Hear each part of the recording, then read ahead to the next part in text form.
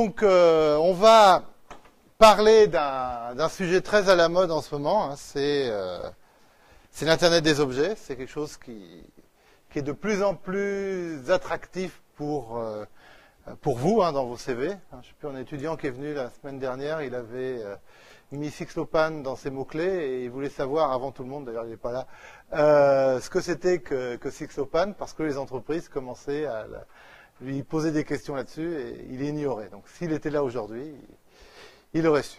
c'est en ligne aussi hein, sur, le, sur le blog, donc peut-être qu'il a regardé avant.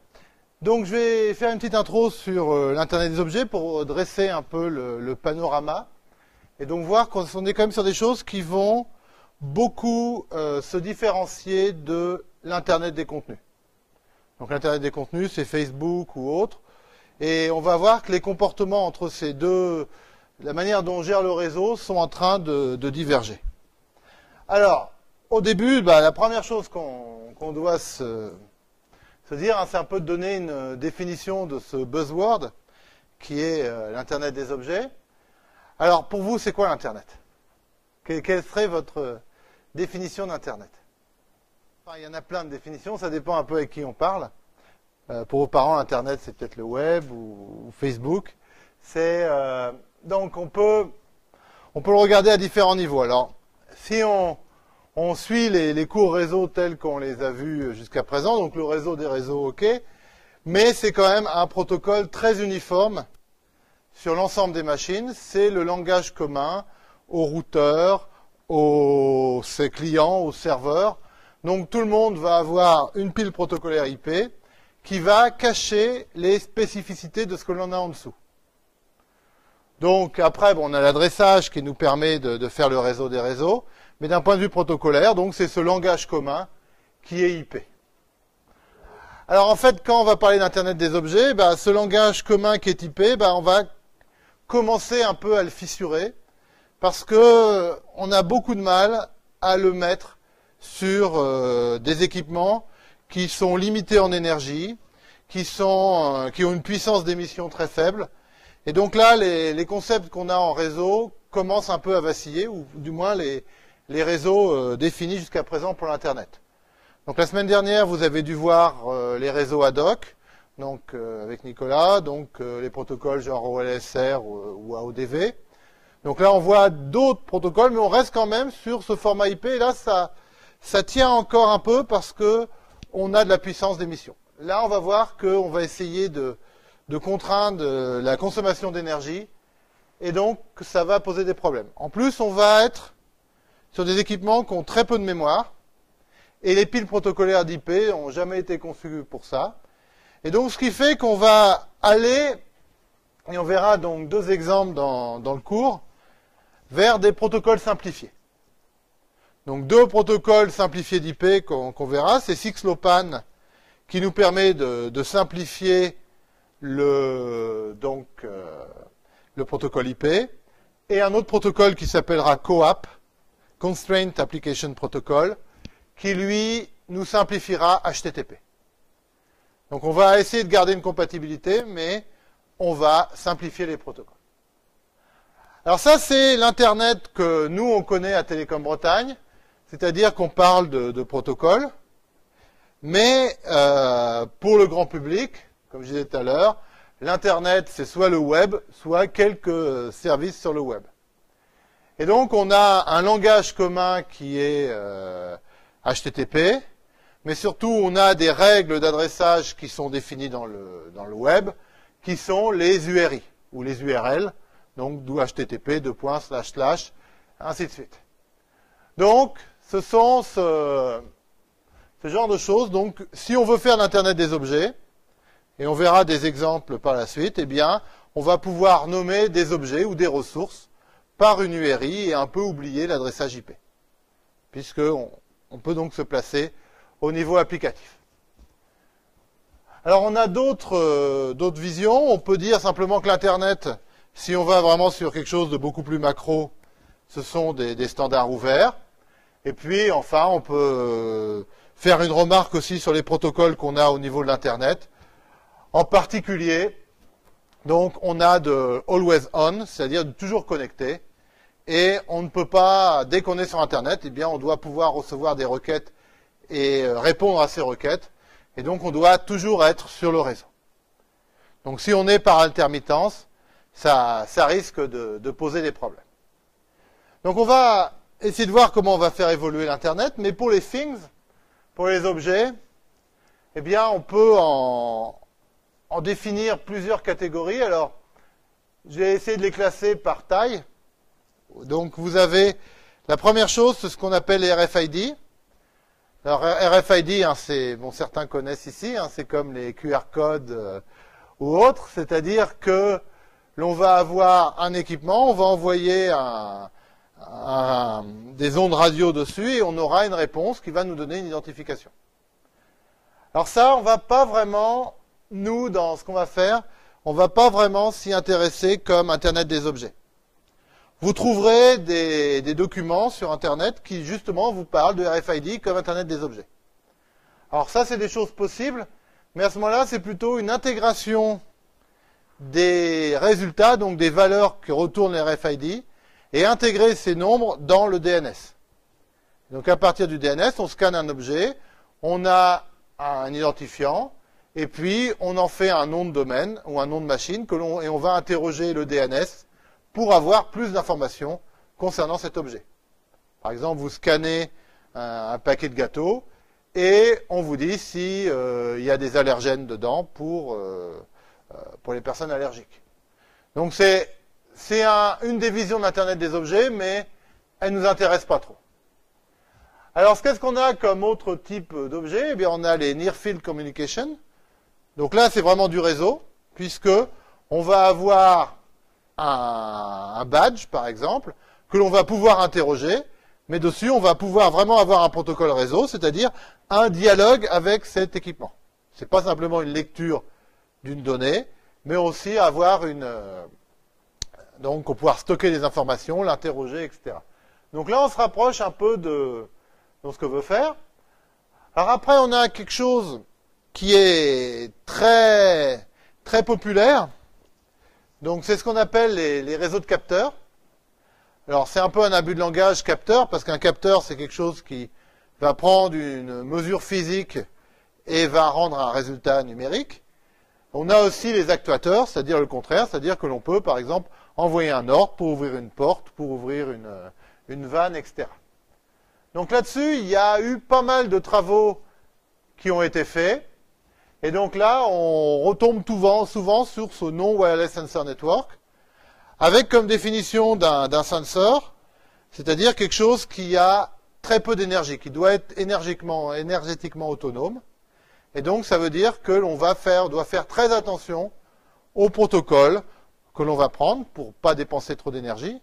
Et on doit faire aussi attention euh, aux messages que l'on va échanger, parce qu'eux aussi vont consommer de l'énergie. Donc ça, c'est une euh, catégorie. Alors on verra, on se basera souvent sur ce type de réseau pour voir l'Internet des objets. Mais l'Internet des objets, ça peut être euh, d'autres choses. En particulier, bah, vous le verrez plus euh, avec Alexander Peloff sur le Smart Grid. Donc je lui ai piqué un slide, on le verra tout à l'heure pour avoir la, la big picture, mais on verra donc que l'on introduit, donc le Smart Grid, c'est comment rajouter un plan data sur le réseau électrique pour contrôler les équipements, pour euh, permettre aux, centrales de, se coordonner. Eh bien, là-dessus aussi, eh bien, on, peut l'intégrer dans, dans Internet des objets. Vous avez les voitures. Donc Jean-Marie Bonin vous a peut-être parlé des, ITS, donc Intelligent Transport System. Eh bien, dessus aussi, ça euh, peut rentrer dans le cas de l'Internet des objets. Donc qu'est-ce qu'on voit en fait derrière tout ça? Enfin, même ma définition d'objet, c'est un équipement qui n'a pas à la fois un clavier et un écran. Donc ce qui permet d'éliminer l'ordinateur. Et surtout, qui va montrer que l'on a euh, aussi des difficultés à configurer.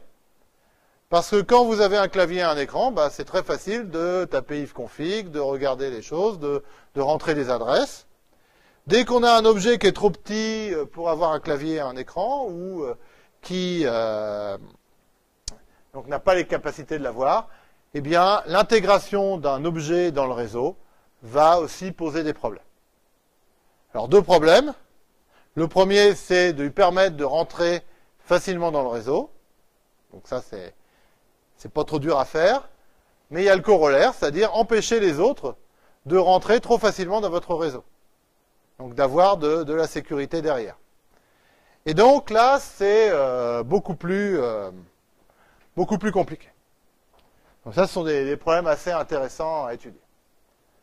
Alors, juste pour euh, faire un, peu d'histoire et voir où on se place. Alors, c'est des slides qui retracent un peu l'évolution d'IP.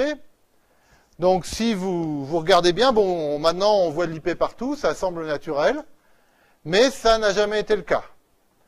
C'est-à-dire que dans les années 80, donc euh, l'internet commençait à, exister. Hein, vous vous rappelez la crise, euh, c'est 93. Mais dans les années 80, donc quand euh, quand vous alliez voir France Télécom et vous disiez on va faire, on voudrait un réseau IP, France Télécom vous disait bah non IP c'est un protocole qui est nul on a des choses qui sont nettement meilleures que IP. Donc par exemple CLNP, X25, puis après Frame Relay et ATM, on a vraiment des réseaux qui sont adaptés aux communications longue distance.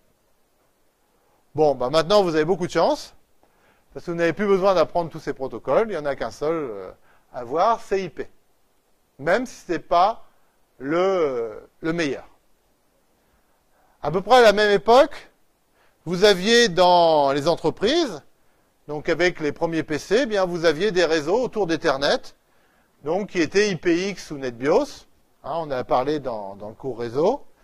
Et pareil, ces protocoles sont meilleurs que le protocole IP. Vous aviez l'autoconfiguration, la découverte des services. Donc vous arriviez avec votre ordinateur, vous le branchez sur le réseau et ça marchait. Donc c'était euh, beaucoup plus simple. Mais à cause des besoins d'interconnexion, à cause du web en particulier, eh bien, ces protocoles ont disparu au, profit d'IP. Bon, après, on a eu euh, la téléphonie sur IP. Et puis, par exemple, euh, dans les années 2000, vous alliez de l'autre côté de la colline et vous parliez de, de, mettre IP sur un téléviseur, eh bien, on vous disait non. Parce que les piles IP sont trop grosses, qu'il y a pas de qualité de service sur IP, et donc c'était pas possible pour, faire des, flux télé. Bon, bah maintenant, euh, la grande crainte des opérateurs, c'est que la Google TV euh, s'installe et que toute la distribution leur échappe. Donc, ce qui fait que, donc là, au passage, voilà les, les protocoles qui étaient proposés à, l'époque pour le téléviseur. Et donc, évidemment, on les a tous oubliés euh, depuis. Donc, ce qui fait que en fait, ce qui est important de voir, c'est que IP n'est pas le protocole le plus adapté à un environnement. Vous trouverez toujours mieux qu'IP pour faire quelque chose. Par contre, il ne sera bien adapté qu'à cet environnement. Tandis qu'IP est un protocole universel, et donc on va pouvoir, grâce à lui, créer des services et de la valeur, donc, qui sont basés sur l'interconnexion. Ce qui est intéressant, par exemple, c'est pas simplement d'avoir un smartphone qui soit connecté au réseau Internet et un capteur dans un coin. Ce qui est intéressant, c'est que depuis le réseau Internet, je puisse accéder au capteur. Donc, grâce à ça, je vais pouvoir créer de la valeur et donc créer de nouveaux services. Et donc, ça, c'est euh, la base d'IP. Même si ce n'est pas exactement ce que j'attends, ça sera mieux d'avoir partout le même protocole que d'avoir des protocoles de niche. Donc ce qui fait que la valeur d'un réseau, et on l'avait vu avec la loi de vient de l'interconnexion, et l'interconnexion vient principalement de protocoles ouverts comme IP. Donc ça, c'est important parce qu'à l'heure actuelle, vous allez voir beaucoup d'Internet des objets qui vont se baser sur des protocoles propriétaires en disant je vais avoir une gateway qui me permet d'interconnecter mes protocoles propriétaires à l'Internet. Donc ça, si c'est mal fait, ça peut poser de gros problèmes. Si votre gateway est lié aux applicatifs, ça veut dire que si vous, devez vous voulez déployer un nouvel applicatif, vous devez mettre à jour votre gateway. Et donc, dans la plupart des cas, vous ne pourrez pas le faire. Et donc vous allez vous bloquer au niveau de, de l'interconnexion.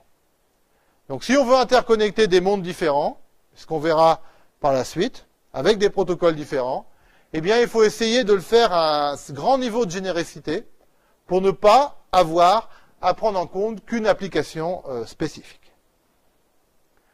Alors, on va rentrer un peu plus dans, dans les détails. Donc on va regarder un protocole. Alors ce protocole est important pour plusieurs raisons. D'abord parce que c'est celui qui passionne à peu près tous les industriels à l'heure actuelle. Donc c'est lié au smart grid. Donc c'est Zigbee Smart Energy qui permet de euh, contrôler les équipements que l'on aura dans, dans la maison. Alors Zigbee, c'est un protocole qui existe depuis des années, qui est basé sur une pile protocolaire euh, I3E 802.15.4. Alors je ne sais pas si Nicolas vous en a parlé euh, la semaine dernière. Ça vous dit des, des choses? Donc, et Zigbee c'est une couche réseau et une couche applicative qui a été mise sur cette, euh, cette couche Mac. Alors, ça c'était euh, avant. Et pour Zigbee Smart Energy, il y a eu un, un changement. C'est-à-dire qu'on est passé de protocole propriétaire à IPv6. Alors, c'est pas évident, ça a pas mal bousculé les habitudes, ça a beaucoup, euh, quand par exemple on veut suivre des groupes à l'IETF, il faut voir un peu que l'objectif, c'est de faire marcher Zigbee Smart Energy et rien d'autre. Donc si vous arrivez avec des idées qui ne sont pas dans cet objectif, vous aurez du mal à les imposer parce que l'urgence est de faire marcher IP sur ce genre d'environnement. Donc on verra tout à l'heure comment. Mais pourquoi donc ce, mouvement d'un protocole propriétaire à un protocole ouvert? Alors IPv6, ce qu'il faut voir, c'est ne pas le considérer pour ses propriétés de end-to-end. Alors en gros, juste, j'ai oublié de décrire un peu ce, schéma. Donc vous avez par exemple votre compteur électrique qui est ici, ou euh, pardon, qui est ici. Vous avez donc le carré, le carré bleu. Et donc vous allez, ou vous allez avoir un énergie portable plutôt qui est ici, qui peut recevoir les informations par Internet ou de votre réseau électrique. Et ensuite, on va pouvoir piloter des équipements. Et donc, un des, fantasmes, c'est par exemple quand vous avez euh, un pic de trafic, enfin un pic de consommation, eh bien, pouvoir éteindre les radiateurs, éteindre les machines à laver, etc., pendant un certain temps, pour essayer d'écréter ce pic. Donc, ce qui permet de, puisque quand vous construisez un réseau électrique, vous devez le dimensionner à la consommation maximale. Bien, si on arrive à, diminuer cette consommation maximale, eh bien, ça devient intéressant. Donc, ici, qu'est-ce qu'on a besoin? Eh bien, pourquoi on va prendre IP Pour deux raisons. La première, c'est une raison qui est commune à IPv4 et IPv6. C'est le fait que IP est indépendant des niveaux 2. Donc ça, c'est une grosse différence, par exemple, avec la première version de Zigbee. Parce que dans la première version de Zigbee, on avait un, protocole. Donc Zigbee était mis sur 15.4, 802.15.4, et on pouvait faire que ça. Si je mets IP, eh bien j'ai la possibilité d'interchanger mes niveaux 2. Alors ce qui est intéressant parce que ça me permet de suivre l'évolution protocolaire des niveaux 2, et ça me permet aussi d'interconnecter des équipements différents. Alors par exemple, vous avez le I3E 802.15.4 qui est euh, le protocole qui a servi de base, par exemple à l'IETF, pour définir euh, les, les, protocoles pour Internet des objets. Donc les contraintes du 15.4 ont été inclus.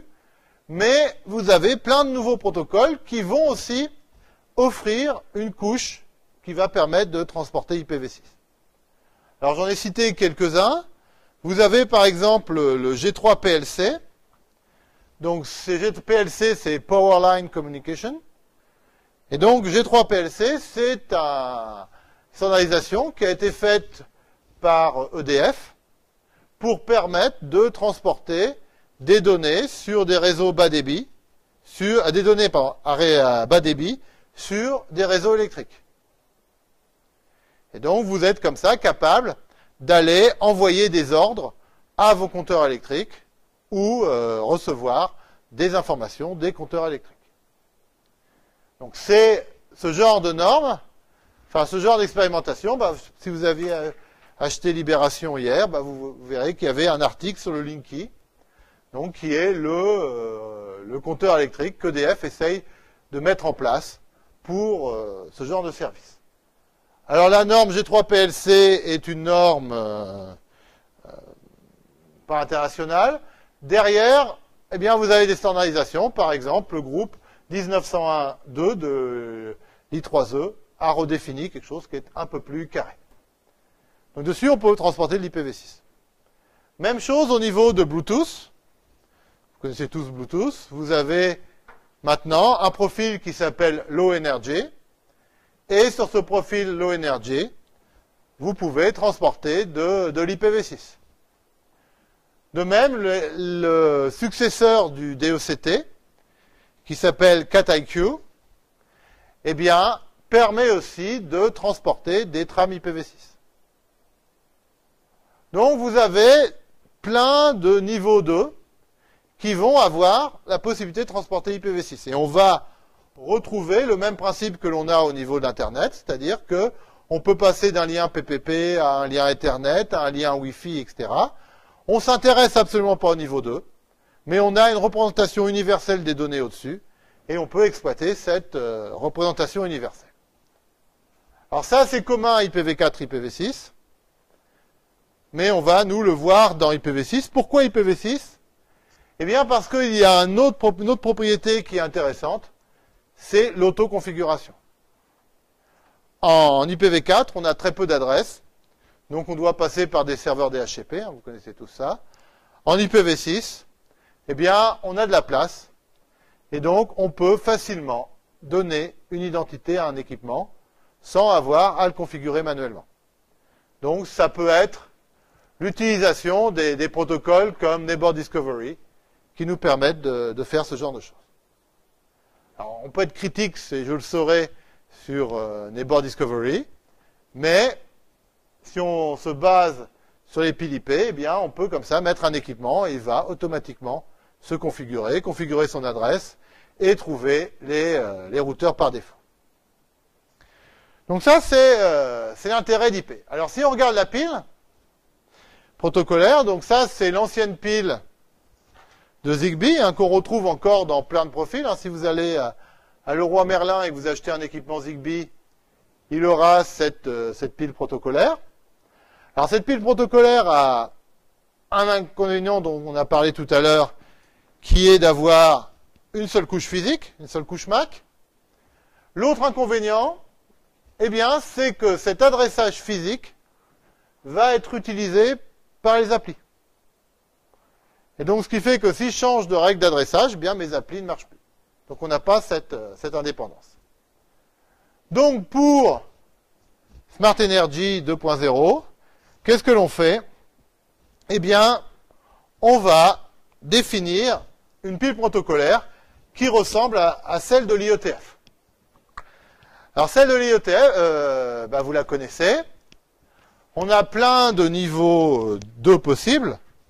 Donc là, j'en ai cité deux, mais vous pouvez en mettre euh, plusieurs. Donc vous avez 15.4, vous avez PLC, on peut mettre Bluetooth, on peut mettre DOCT. Et dessus, on va mettre une couche d'adaptation qui va nous permettre de transporter de l'IPv6.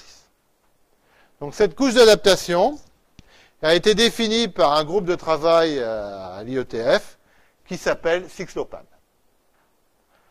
Alors évidemment, on n'est pas toujours obligé de la voir si on a de l'Ethernet, on pourrait faire de, l'IPv6 de manière normale.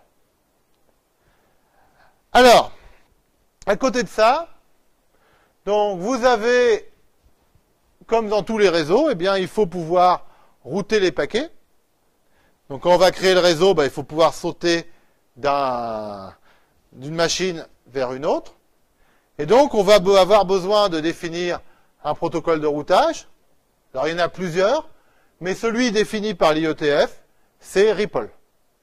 dont Pascal Tubert viendra vous parler euh, bientôt. Alors, ça, ça va permettre de faire l'unité, pouvoir passer d'une machine à une autre. On verra, vous verrez que c'est un peu plus restreint que ça. Généralement, c'est d'une machine vers un point de sortie du réseau de capteurs pour aller vers l'Internet traditionnel. Mais donc, on, on a les possibilités. Alors maintenant, derrière, ce que l'on va avoir dans ce type d'architecture, c'est pouvoir, donc, comme on l'a dit tout à l'heure, l'Internet, les objets peuvent être représentés non pas par des adresses IP ou uniquement par des adresses IP, mais par des URI. Et donc, quel est le protocole qui nous permet de transporter des URI Généralement, c'est HTTP. L'inconvénient d'HTTP, c'est qu'il tourne sur TCP. Je ne sais pas si vous avez eu les cours euh, avec David Ross. Donc, euh, vous avez pu voir que TCP, c'est pas quelque chose de simple. Hein, vous changez un paramètre quelque part, vous cassez tout. L'autre problème, c'est que TCP, c'est un protocole de euh, contrôle, contrôle de flux fait de bout en bout. Donc si vous envoyez trop vite des données vers un capteur qui se trouve à 500 km, eh bien vous risquez de créer des belles congestions dans les réseaux de capteurs parce qu'on a très peu de débit. Donc ce qui fait qu'on a une implémentation qui prend beaucoup de place, c'est pas très efficace dans les réseaux de capteurs, et donc c'est pour ça qu'une autre pile protocolaire pour transporter les URI a été définie à l'IETF. Et donc c'est ce protocole COAP. Donc Constraint Application Protocol. Et ce protocole, lui, bah, va tourner sur UDP. Parce que euh, mettre en œuvre UDP sur un élément, c'est pas dur. Puisque UDP, ça fait absolument rien. Hein, ça, transporte juste des numéros de port. Donc c'est facile. Et puis COAP, va être un format, va être très compatible avec HTTP. Par contre, va être beaucoup plus simple à traiter par les équipements. Oui Constraint Application Protocol? Et euh, donc, ce qui fait, on verra ça la semaine prochaine, mais CoAP permet un, gateway, un, pont, un, un pontage, une, un passerellage, je dirais, entre le monde HTTP et le monde CoAP de manière très facile. Par contre, on va avoir quelque chose de beaucoup plus simple à gérer dans le réseau de capteurs. Et donc ça, ça va nous permettre de construire des architectures qui vont être euh, assez subtiles, comme on va le voir par la suite. Puis après, bah, vous avez vos applications, et là, on a des applications classiques, c'est-à-dire euh, à l'Internet, qui vont utiliser des, euh, numéros de port ou des, URI, pardon, pour être, euh, ou des profils, pardon, qui vont utiliser des URI pour désigner des ressources. Alors, ça c'est un exemple justement où IPv6, euh, où le réseau est intéressant. Donc c'est, je vous ai parlé tout à l'heure de donc des, réseaux de collecte. Donc ici vous avez les maisons. Derrière les maisons, bah, vous avez le réseau électrique. Vous avez une substation. Donc la substation, ça va être le transformateur qui va vous passer de moyenne tension à basse tension. Et généralement, vous avez trois phases qui sortent de ce transformateur pour alimenter un groupe de maisons. Donc, la norme, par exemple, G3PLC, permet de transporter des données IP sur ce, type de réseau. Donc si vous avez été voir récemment les pages web de, Télécom Bretagne, vous avez peut-être vu qu'on a un partenariat avec Texas Instruments et Itron. Donc Itron qui est un grand fabricant de, compteurs électriques. Donc c'est pour ceux qui connaissent, c'est ex-Schlumberger compteur. Et donc l'idée c'est d'étudier un peu cet environnement parce qu'il est très perturbé. Il n'a jamais été fait pour transporter des données. Et on a, donc on a une vision en bus ou en étoile, puisqu'on a trois phases qui partent de la substation. Mais en fait, le réseau est très complexe, parce qu'on ne peut pas directement émettre d'une machine, d'un compteur d'un particulier, vers une substation. On est obligé de relayer, de passer, le message doit passer par différents compteurs pour atteindre la substation. Donc ça pose de, gros problèmes de routage qui sont euh, intéressants à étudier. Donc en France, pour l'instant, on va s'arrêter à peu près là, au niveau de, du déploiement industriel, c'est-à-dire que l'on va simplement connecter le compteur. Mais derrière, eh bien, on peut aller plus loin, et ça, ça fait partie aussi d'activités de, recherche que l'on mène ici, c'est de voir comment, donc ça c'est l'intérieur d'une maison, eh bien, comment on va pouvoir piloter les différents éléments qu'on a dans la maison et comment on va les intégrer au réseau local de la maison. Donc ça, ça, pose des, problèmes. Alors, il y a plein de questions aussi. La boîte, l'Energy Box que vous allez avoir ici et qui pilote vos équipements, appartient-elle au distributeur d'électricité? Est-ce que c'est un service qui est indépendant du, fournisseur d'électricité? Enfin, il y a plein de, de questions. Je pense qu'Alex euh, rentrera dans, dans, ces détails.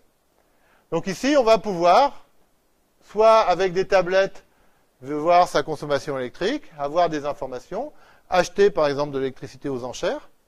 Vous avez une lessive à faire, bah, trouver le, quel est le meilleur prix, le meilleur tarif l'électricité, ou attendre que le tarif baisse pour, euh, pour commencer une lessive.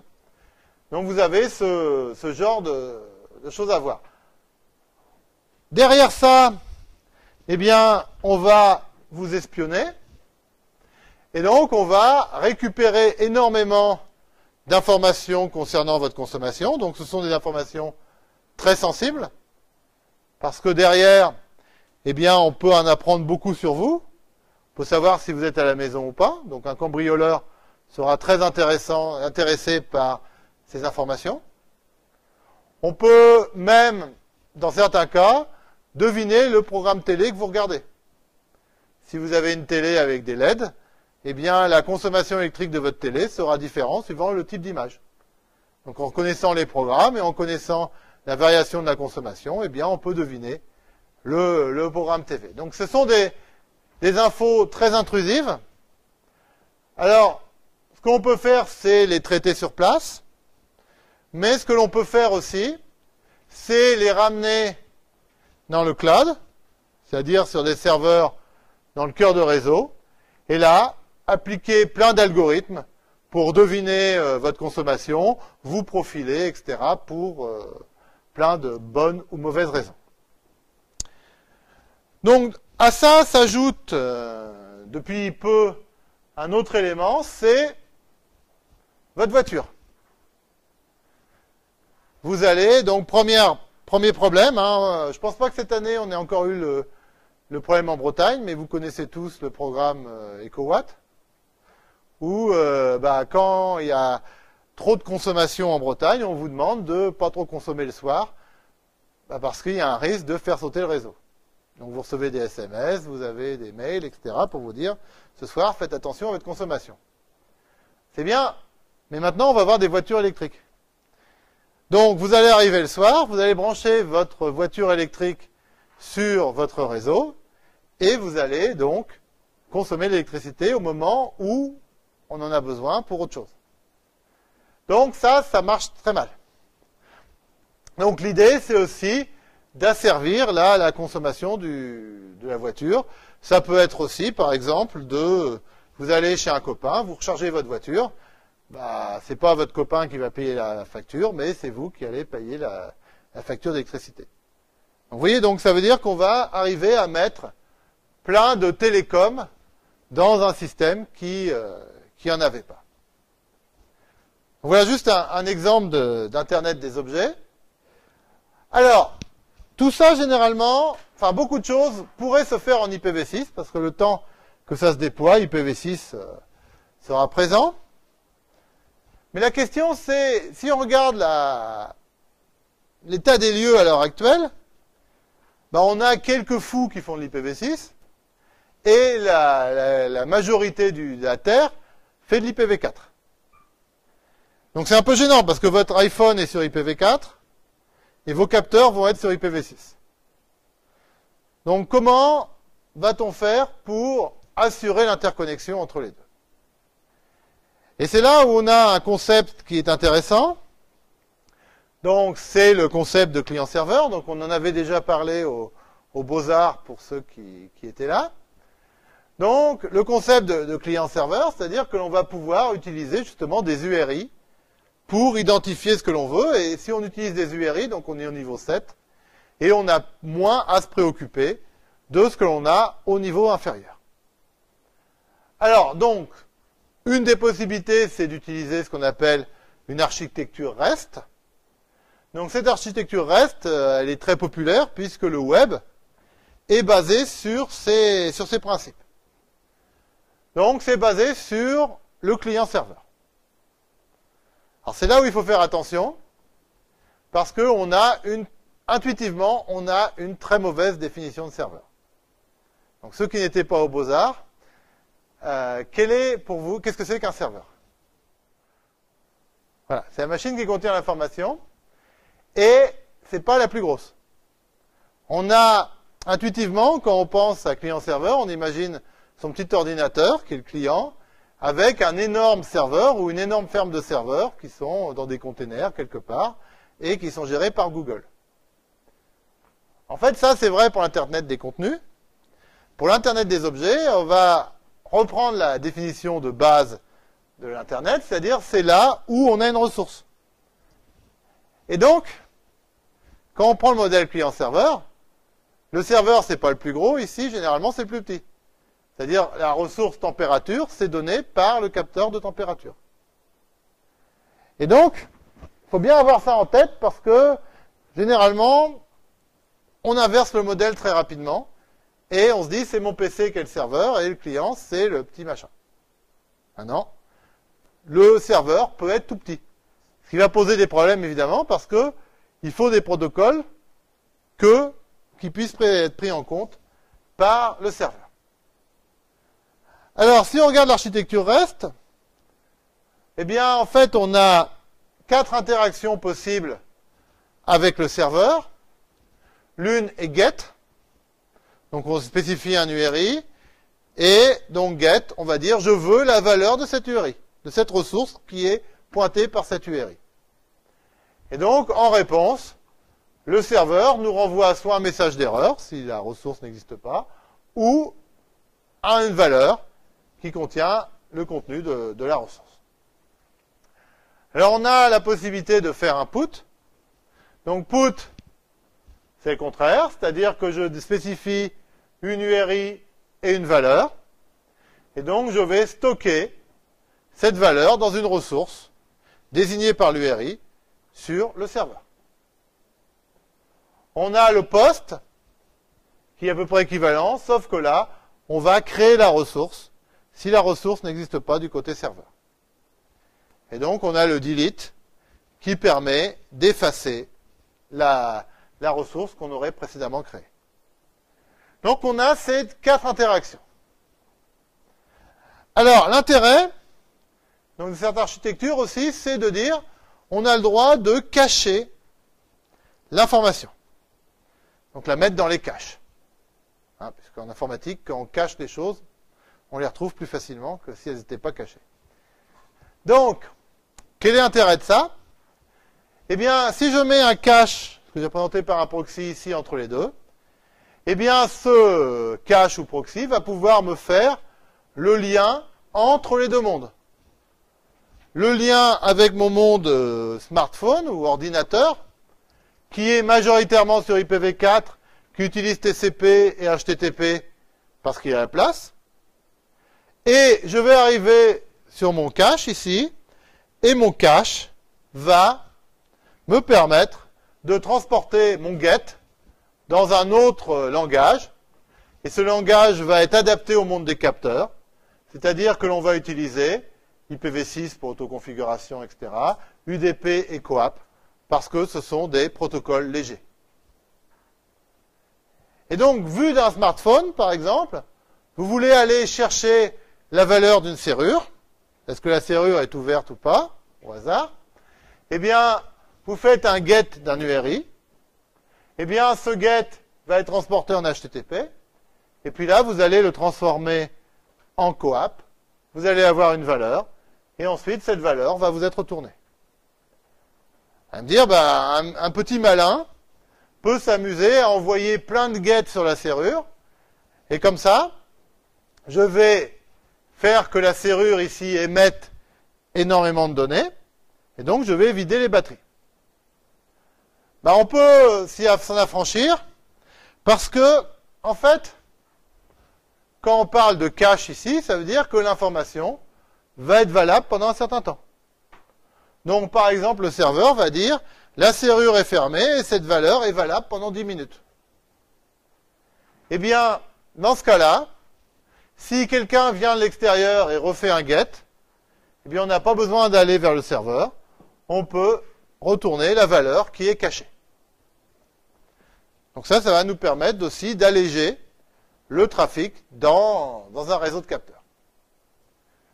Alors évidemment, vous allez me dire c'est bien, mais le jour où quelqu'un ouvre la porte, si on a 10 minutes de cache, ben, ça pose un problème parce que euh, on va croire toujours que la porte est fermée alors qu'elle est ouverte. Alors Coap, on verra ça la semaine prochaine, mais propose un message qu'on appelle observe qui permet au serveur d'émettre spontanément une valeur ici qui permettra de remettre à jour le cache. Alors en plus, si par exemple on a laissé la connexion ouverte au niveau TCP, eh bien, toutes les machines qui ont ouvert cette connexion pourront récupérer la valeur en direct. Donc, ce qui fait que là, on a une interconnexion qui est relativement souple entre les deux mondes. Alors, ce qui est intéressant de voir ici, c'est que je n'ai défini aucun profil applicatif. J'ai simplement défini des interactions et j'ai construit des applications au-dessus de ces interactions. Donc ce qui fait que mon proxy, il est générique. Il n'est pas lié à un applicatif donné. Par contre, ce que l'on va faire, c'est essayer de bien structurer ce que l'on échange. C'est-à-dire que si, par exemple, j'ai une URI pour savoir si ma porte est ouverte ou pas, eh bien, essayez d'avoir les mêmes noms pour, euh, euh, pour désigner la porte, pour désigner la question est-ce que la porte est ouverte? Pour la réponse, c'est pareil. Je vais essayer de structurer les valeurs. Si par exemple une application me répond oui et l'autre me répond 1, bah, ça peut poser des problèmes d'interopérabilité. Donc il va falloir spécifier aussi la manière, ce que l'on répond et la manière dont on répond. Comment on le code? Est-ce que je code un 1 en, en hexadécimal? Est-ce que je code un 1 en ASCII? Donc tout ça devra être spécifié pour garantir l'interopérabilité. Et en fait, ce que l'on va avoir, c'est une création. Alors, j'ai appelé ça MIB. Alors, je ne sais pas si ça vous parle, MIB. Vous n'avez pas vu ça en, cours, je pense. Donc, euh, ce sont les protocoles. C'est normalement c'est Management Information Base. Donc, ce sont des bases de données qui qu'on retrouve dans les équipements qui permettent de désigner des, euh, des ressources, des valeurs. Par exemple, si je veux interroger un routeur et savoir combien de paquets ont été échangés sur une interface ou émis sur une interface, eh bien, j'aurai une, une séquence de chiffres bien connue de tous les équipements qui me permet de savoir euh, le nombre d'octets transmis sur cette interface. Et cette valeur-là va être bien spécifiée mais surtout, la mesure aussi va être bien spécifiée. C'est-à-dire que si je dis combien d'octets ont été transmis au niveau IP, est-ce que j'intègre l'entête IP, est-ce que j'intègre pas l'entête IP Eh bien, tout ça va être décrit sans ambiguïté. Donc, on va retrouver des organismes qui vont standardiser cet échange d'informations. Donc, en se basant sur l'architecture REST, vous avez deux principaux organismes un qui est l'IPSO, euh, pour IP for Smart Object, et vous en avez un autre qui est euh, l'ETSI pour les architectures M2M. Donc je ne vous ferai pas l'affront de présenter les architectures M2M, puisque vous en savez plus que moi. Vous avez euh, assisté au cours de Marilyn Arndt il y a quelque temps, et donc qui parlait de ce genre de choses donc là, par exemple, sur l'IPSO, eh bien, on va avoir, là j'ai pris juste euh, l'exemple le plus simple. À la fin du cours, on, reverra des choses un peu plus complexe. Mais en gros, ici, pour une lumière, eh bien, on va voir une URI ici, donc LT pour light. Ensuite, un numéro qui peut définir l'instance de la lumière. Et ensuite, on. Et donc, si je veux savoir si la lumière est allumée ou pas, eh bien, je fais un get LT on. Et on va me répondre un booléen, 0 ou 1, pour savoir si la lumière est allumée ou pas. Si je veux allumer la lumière, eh bien, je fais put cette URI et je mets la valeur 1. Et j'allumerai la lumière. Pareil pour un dimmer, donc un variateur d'intensité. Au lieu d'avoir ici un booléen, eh bien, j'aurai ici un entier. Et donc, on a ce, genre de choses. Alors, ça va être défini par euh, l'IPSO pour ce genre de d'URI. Ensuite, on a le type. Est-ce que c'est un sensor, un actuateur? Un actuateur, c'est quelque chose que l'on peut faire. On peut envoyer des informations pour qu'il agisse avec son environnement. Un sensor, bah, ça nous donne des valeurs de, l'environnement. Ensuite, le type de valeur que l'on peut faire, que l'on peut avoir, et ensuite euh, les unités que l'on peut utiliser. Donc une fois que c'est bien spécifié, eh bien on pourra acheter une lampe d'une marque ou d'une autre marque, un contrôleur, un interrupteur d'une autre marque, et sachant qu'ils connaissent les, les URI à utiliser, eh bien ils pourront fonctionner ensemble. Donc c'est à ce niveau-là que l'on va créer euh, l'interopérabilité. Alors, ça c'était pour euh, l'IPSO, donc j'en ai parlé un peu pour, euh, pour les sites, donc je ne vais pas rentrer dans les détails parce que vous avez déjà vu ce cours. Mais en gros, l'idée est la même, c'est-à-dire qu'on va se baser sur l'architecture, l'architecture reste, mais ce que l'on va avoir, c'est donc à proposer aux opérateurs d'offrir une plateforme de communication, et cette plateforme de communication sera universelle pour l'ensemble des services. C'est-à-dire qu'on ne va pas définir un réseau de de, un réseau de distribution, de transmission pour les relevés de compteurs d'eau, un autre pour le pilotage des feux rouges, etc. On va utiliser la même infrastructure. Et derrière, on va avoir ces gateways qui pourront être interrogés suivant l'architecture REST, donc récupérer des valeurs, en effacer, etc. Et puis derrière, ben, ces gateways seront remplis par des URI qui seront donnés par des réseaux de collecte. Donc la grosse différence entre l'architecture IP euh, de l'IPSO et l'architecture du M2M, de l'ETSI, c'est que le réseau de collecte peut être des protocoles venant de l'IOTF, mais on peut aussi se baser sur des protocoles existants qui, eux, ne viennent pas du monde IP. Mais on va extraire les valeurs et on va les mettre dans des, euh, des URI que l'on pourra interroger. Alors en plus, comme on est là dans des mondes beaucoup moins ouverts, où on va avoir, par exemple, il est hors de question qu'un industriel puisse accéder au capteur d'un autre industriel, puisqu'ils partagent le même réseau, eh bien, les gateways auront des fonctions d'authentification, des fonctions de provisioning pour réserver des ressources, des fonctions de sécurité, et puis comme on est dans le monde des opérateurs, elles auront aussi des options pour facturer ce genre de requête. Donc on va aller beaucoup plus loin que simplement le pontage ou le, euh, ce que j'avais appelé tout à l'heure le passerellage de l'information entre les deux mondes. On aura donc des opérations beaucoup plus complexes, mais qui seront toujours représentées suivant des, des URI. Donc voilà, alors, juste pour remettre un peu les, choses dans euh, leur perspective, donc, je vous ai montré tout à l'heure des, évolutions historiques de, de l'Internet.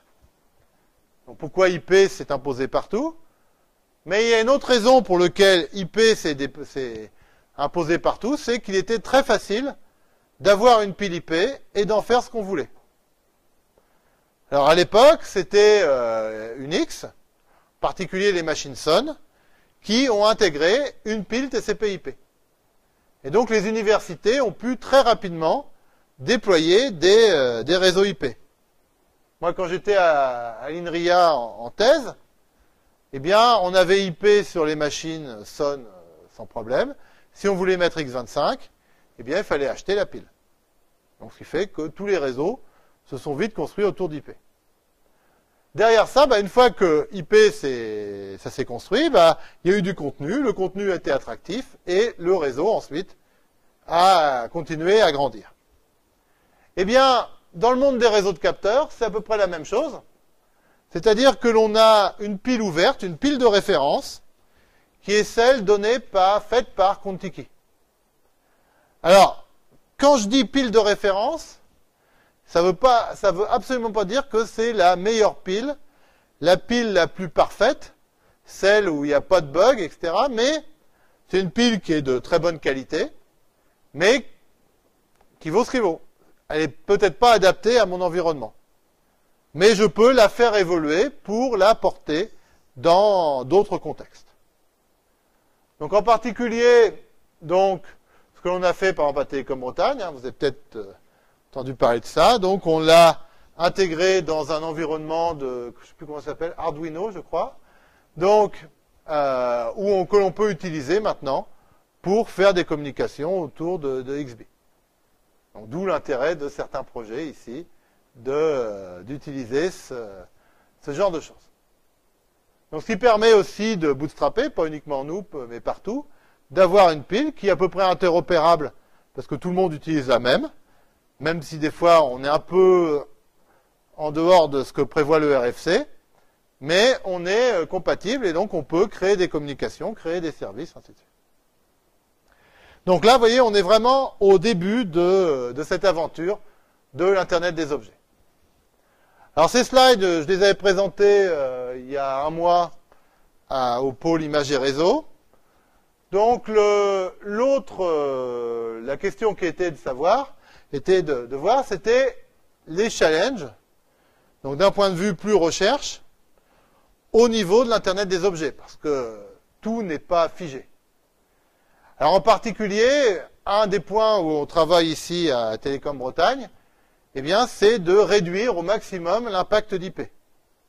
Parce que IP, ça rajoute des, contraintes, ça rajoute des, ça augmente la taille des données, donc ça bouffe de l'énergie, il y a des protocoles comme Neighbor Discovery qui demandent une émission périodique d'informations.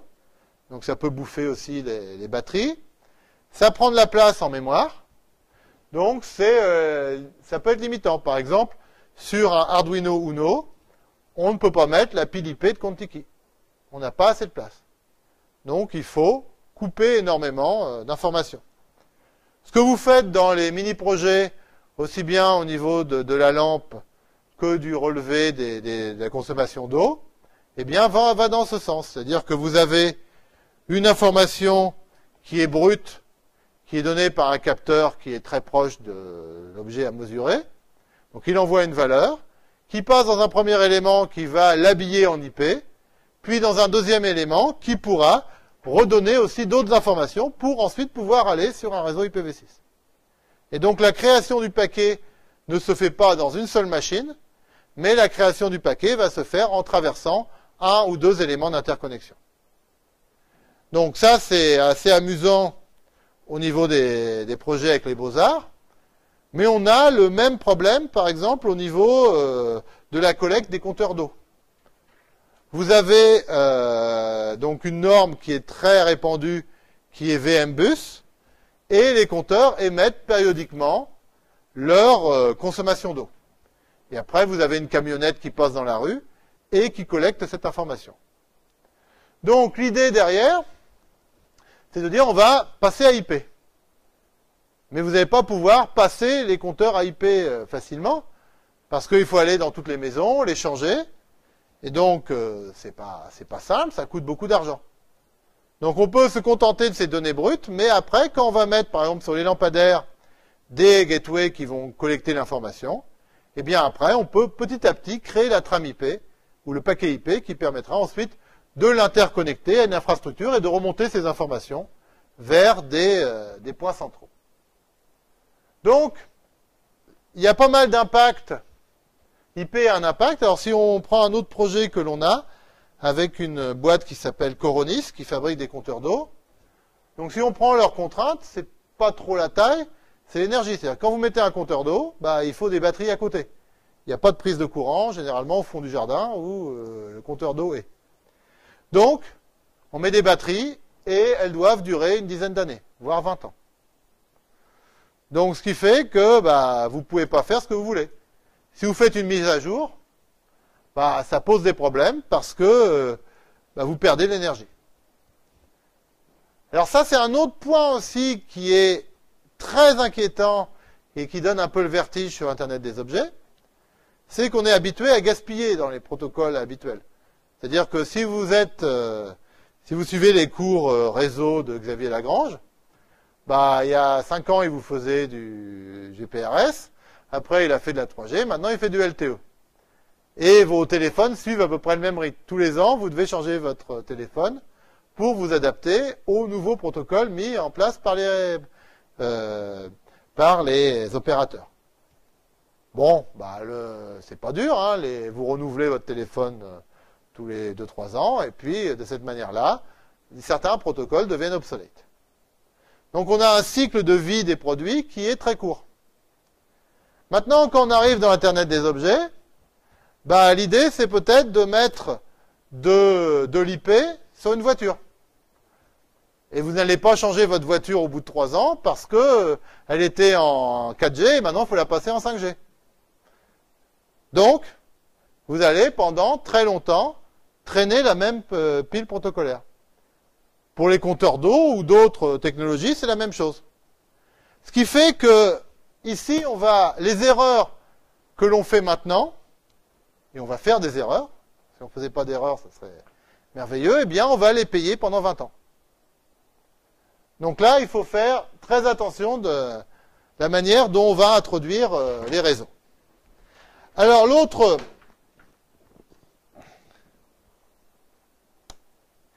l'autre point, c'est la topologie du réseau. C'est encore une grande question à l'heure actuelle pour savoir comment on va faire un réseau de capteurs à l'échelle d'une ville. On a deux, solutions.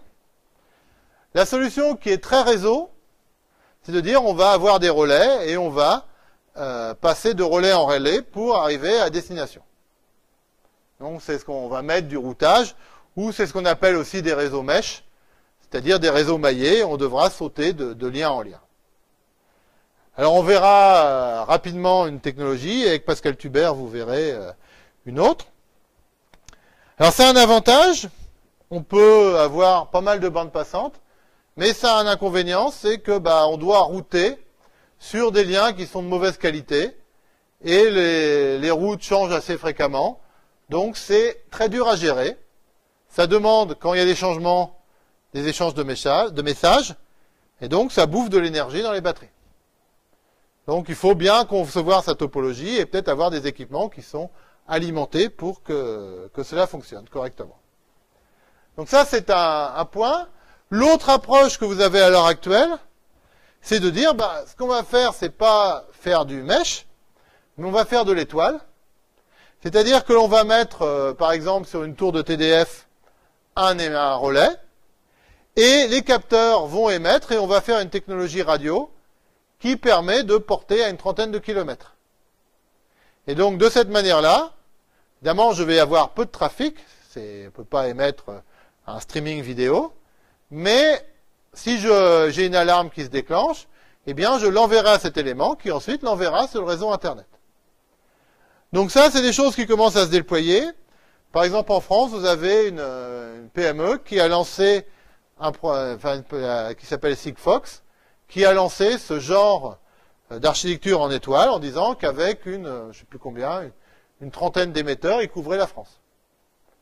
Donc il suffit de, si on a une portée de 30 km, euh, je sais plus, peut-être une centaine, mais on couvre euh, la France. Alors c'est vrai, ça marche pour du trafic sporadique, mais si vous rappelez vos cours de deuxième année, donc c'est ça qui est aussi intéressant dans les réseaux de capteurs, c'est qu'on n'a pas à changer nos cours, ça les réactualise tout seul. Euh, vous avez dû entendre parler d'un protocole qui était utilisé par des universités américaines, qui était situé très à l'ouest, alors, ouais. Donc, Aloha, bah, on revient à ce principe, c'est-à-dire que Aloha, bah, on sait que si on est en eau flottée, on ne peut utiliser le canal qu'à 18%. Et si on l'utilise déjà à 18%, on est à la limite de l'instabilité et si euh, on continue à émettre comme des bœufs, eh bien on sature le réseau. Donc, là, les performances, à cause de ce facteur Aloha, ne vont pas être excellentes. Par contre, on a une simplicité de déploiement.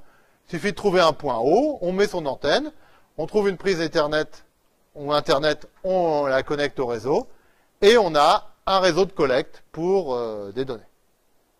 La voie retour est quand même plus complexe aussi dans, ce cas-là. Donc ça, ce sont des, défis pour arriver à faire fonctionner ce genre de choses. Pour revenir au cas mesh, hein, je vous en ai parlé tout à l'heure au niveau des, des réseaux électriques, eh bien, c'est très compliqué à mettre en œuvre et les performances non plus ne sont pas, ne sont pas idéales. Alors, l'autre problème que l'on a, alors je ne sais pas si Xavier Lagrange vous en a parlé, mais en gros, LTE, c'est bien pour regarder un film en définition dans le TGV. C'est-à-dire que le but, c'est de transmettre à très haut débit des informations pour des équipements ou des utilisateurs qui se déplacent. Bon, bah, l'Internet des objets, c'est le contraire. On n'a pas besoin de mobilité, on n'a pas besoin de débit, mais on a des millions d'objets. Ce qui fait que les bases de données, le dimensionnement du réseau, ne fonctionnent pas correctement. Et donc, il faut arriver à adapter les protocoles que l'on a, les réseaux que l'on a, comme LTE, à ces nouveaux services. Par exemple, Xavier Lagrange propose d'utiliser la voie signalisation de LTE pour envoyer des messages. il vient juste de réinventer le SMS pour LTE. Donc, ce sont des choses, pour l'instant, on a des réseaux d'infrastructures qui sont mal dimensionnés pour ce type de trafic. Si par exemple vous voyez aussi des, objets qui commencent à être euh, accessibles via SMS, bah, le problème c'est que le plan de numérotation ne va pas suivre. 10 chiffres pour numéroter euh, les objets, bah, ça suffira pas parce qu'on euh, n'a pas assez de place. Donc normalement, la numérotation va passer à 14 chiffres pour euh, ce type d'éléments, pour avoir plus de place pour l'Internet des objets. Donc ça a des impacts aussi sur, sur le cœur. Alors l'interopérabilité, évidemment, c'est un problème. Mais bon, ça, ce sont des choses assez courantes dans le monde des réseaux. C'est-à-dire qu'on a des spécifications au niveau de l'IETF et après, il bah, faut vérifier que, que ça, ça fonctionne correctement. Et les deux problèmes intéressants aussi à regarder, c'est l'autoconfiguration, c'est-à-dire comment vous allez être chez vous, avoir des objets, les configurer, sachant qu'ils n'ont pas d'écran, n'ont pas de clavier, et que vous allez, par exemple, vouloir monitorer la consommation du téléviseur.